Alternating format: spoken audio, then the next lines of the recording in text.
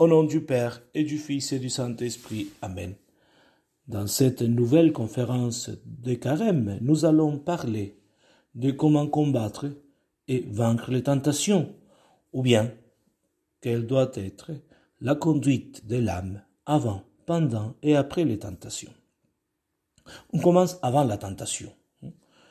La stratégie fondamentale pour éviter la tentation a été déclarée par le Seigneur lorsqu'il a dit à ses apôtres dans le, jardin des, Oliviers, le Gethsemane, hein, avant sa mort, avant sa passion, veillez et priez pour ne pas céder à la tentation. Cela signifie que la vigilance et la prière, veiller et prier, sont nécessaires avant même que les tentations ne surviennent. En ce qui concerne d'abord la vigilance, le diable n'abdique jamais complètement son combat pour gagner notre âme. Si parfois il semble nous laisser en paix et ne pas nous tenter, c'est uniquement pour revenir à l'attaque, mais quand on l'attend même pas, il va revenir. Pendant les périodes, de calme, nous devons être convaincus que la bataille reprendra, et peut-être avec plus d'intensité qu'auparavant. Il faut donc rester vigilant pour ne pas être pris par surprise. Cette vigilance se manifeste dans le fait d'éviter toutes les occasions de péché, d'abord, dans la tactique d'anticiper les assauts inattendus, de m'anticiper à la tentation pour éviter, dans la pratique de la maîtrise de soi, être seigneur de moi-même, en particulier du sens de la vue et de l'imagination, Santa Thérèse d'Avila disait l'imagination est la folle de la maison, la folle de la, dans la tête. C'est elle qui fait des astres dans, dans notre âme. Donc il faut savoir retenir et encadrer l'imagination, dominer l'imagination. Et aussi dans l'examen particulier. L'examen particulier, nous le savons, c'est l'examen de tous les jours. On le fait, le fait une fois le matin, une fois à midi, une fois le soir. Hein. Le matin parce que on va penser sur quoi on va travailler, soit sur un défaut que nous devons vaincre, ou bien une vertu que nous devons atteindre. À midi, c'est le matin, on va se proposer, demandant au Seigneur la, la grâce et sa protection qui nous guide et nous conduise. À midi, on va examiner comment on a travaillé sur cela. Hmm? Combien de fois on a pratiqué la vertu, combien de fois on a évité, on a évité les tentations. Et le soir aussi, un examen de la journée. Ça, c'est l'examen particulier. Il est très important pour vraiment vaincre les tentations hein, avant qu'elles ne viennent. Donc comment on travaille avec les amants particuliers. Et aussi dans le renouvellement fréquent de la résolution ferme de ne jamais pécher. Euh, Seigneur, je ne vais plus euh, commettre un péché, je ne vais plus recommencer euh, dans tel péché. Encore une fois, hein, plutôt on doit dire qu'il faut insister en tout cela, il y a euh, le risque de la paresse. La paresse, la mère de tous les vices, de tout vice. La paresse est la mère de tout vice. Donc nous devons éviter de tomber dans la paresse, parce que vraiment c'est la paresse, ce qui peut, nous conduire, hein, le, défaut qui, qui, nous conduit à beaucoup, beaucoup d'autres péchés, la paresse. Nous sommes en état de guerre avec le diable et, nous ne devons pas abandonner notre poste, parce que sinon nous allons finir vaincus dans un moment de, faiblesse ou bien de distraction.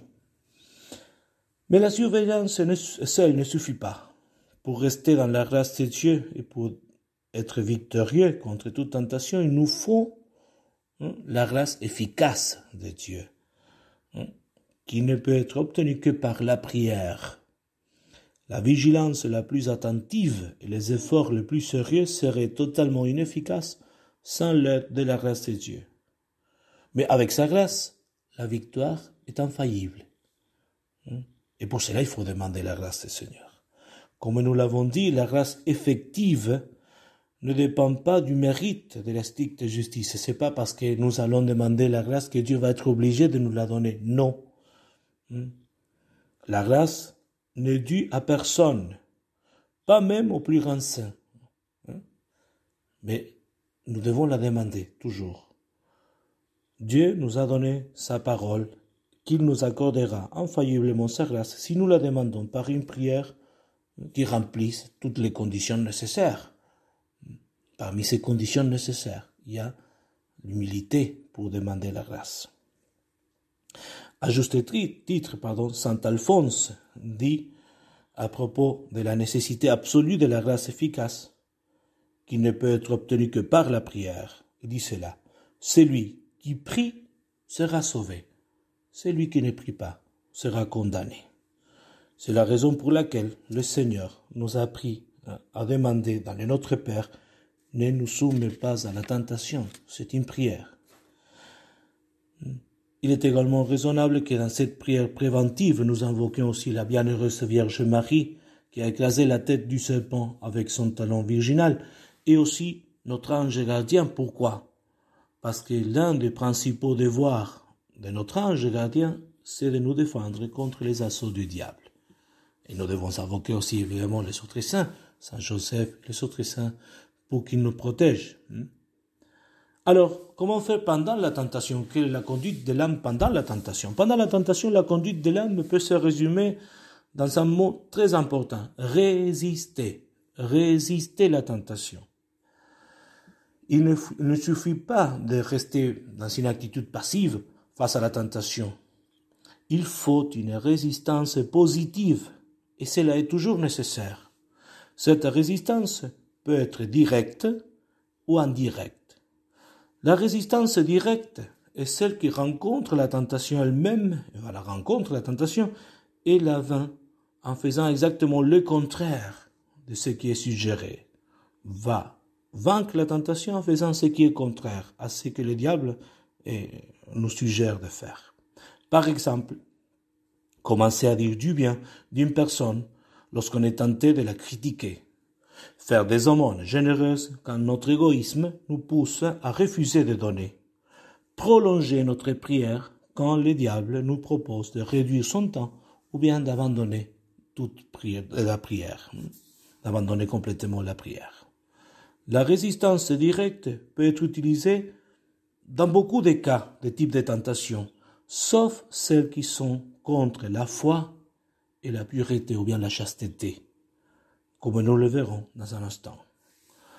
La résistance indirecte, nous avons parlé de la résistance directe, nous parlons maintenant de la résistance indirecte, n'attaque pas la tentation, mais s'en retire en détournant l'esprit vers un autre objet entièrement différent.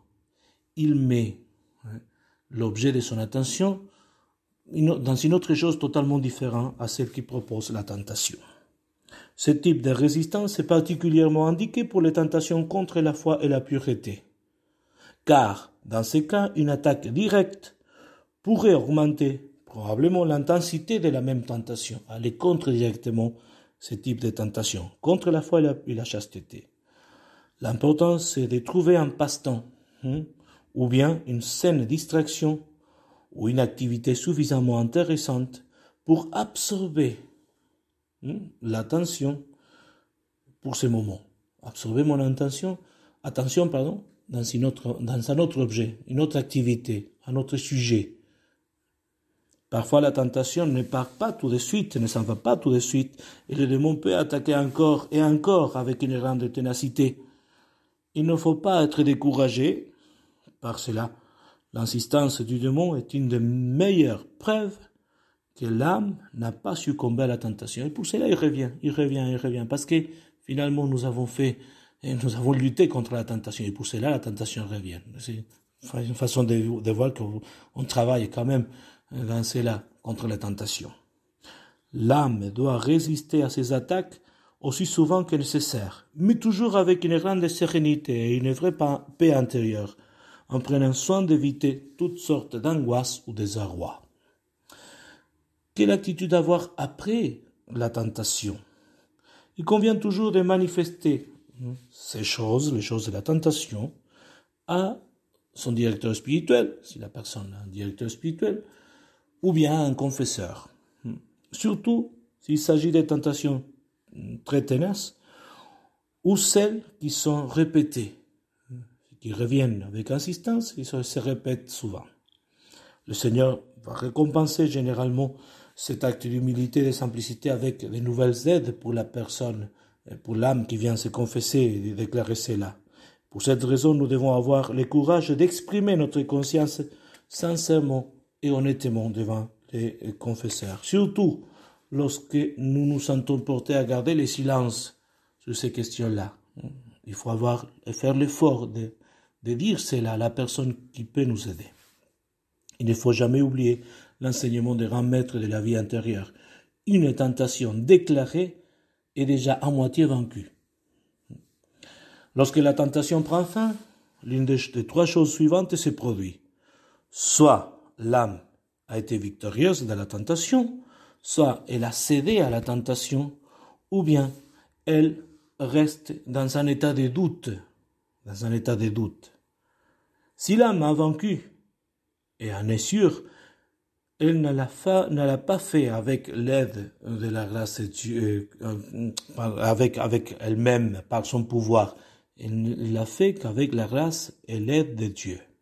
C'est pourquoi nous devons remercier hein, et nous devons demander au Seigneur qu'il continue à nous aider dans d'autres occasions.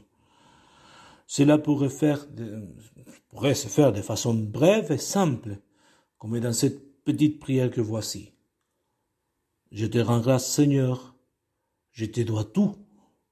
Continue à m'aider dans toutes les occasions de danger et prends pitié de moi.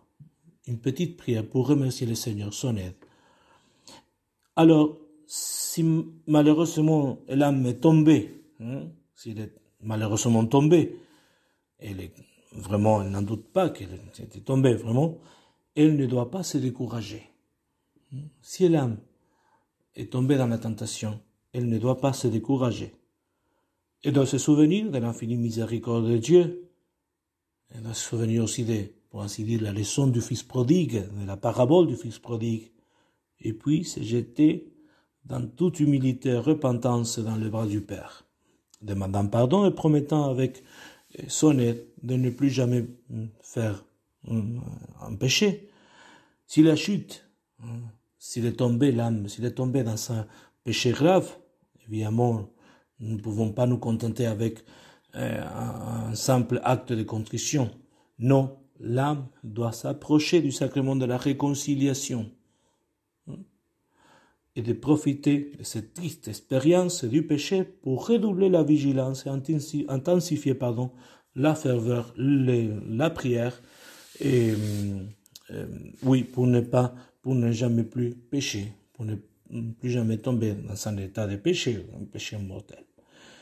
Si l'âme demeure dans les doutes, hein, troisième cas, après la tentation, l'âme demeure dans les doutes quant à savoir s'il a donné ou non son consentement à la tentation, elle ne doit pas examiner sa conscience de près scrupuleusement. Non, car cela pourrait éventuellement provoquer à nouveau la tentation et même augmenter les dangers de chute. Parfois, il est préférable de laisser passer un certain temps jusqu'à ce que l'âme se calme, hein, revienne à la paix, puis d'examiner attentivement sa conscience pour voir si le péché a été commis ou non. Dans tous les cas, il est bon de faire un acte de contrition parfait et de faire savoir au bon moment à son confesseur la tentation rencontrée, hein, quelle tentation nous avons eue, hein, en reconnaissant, s'il faut, la culpabilité comme elle est apparue devant les, devant les yeux de Dieu. Après cela, c'est là après, pardon, un bon examen de conscience. Demandons à la très sainte Vierge Marie la grâce de savoir agir, et agir avant la tentation, agir pendant la tentation, et agir après la tentation, comment nous devons agir. Hmm? Et aussi la grâce de détester les péchés, hein? même les péchés les plus petits, tout péché, détester tout péché, seulement pour amour du Fils de Marie, de notre Seigneur Jésus-Christ, pour l'amour de son Fils. Demandons donc cette grâce à la très sainte Vierge Marie, au nom du Père et du Fils et du Saint-Esprit. Amen. Que Dieu vous bénisse.